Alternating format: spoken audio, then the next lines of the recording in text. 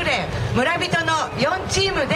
今日はカズサのオリジナル曲を作りました、えー、これをですねみんなで踊っていただいてよさこいを伝承していただきたいということで作った曲なのでぜひよろしかったら皆さんも一緒に踊ってくださいそれでは、えー、カズサ角町連舞歌ですよろしくお願いします構え